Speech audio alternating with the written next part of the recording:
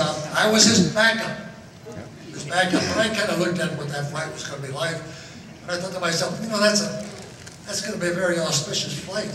Gee, I wonder, his backup, you know, if something happened with happened to him, but maybe I could slip in there, so I just, so I, breaking his leg, not getting caught. But that was successful. But honestly, I'd like to introduce you know, a good friend of mine, a good friend to everybody, Neil Armstrong.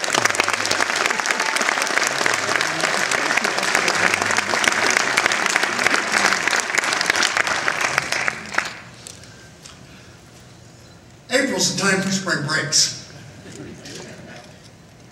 Little Getaway trips. And so, uh, tonight, we gather to celebrate such a, uh, trip, getaway, little getaway trip, happened four decades ago this month. Now, when we think about Apollo 16, uh, tonight, we particularly remember three personalities. One was strong, authoritarian, walk on water. One was friendly, good-natured.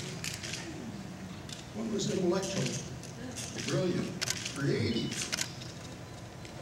Each of the three would be critically important to the success of the mission. And I'm confident that many of you here tonight can pick out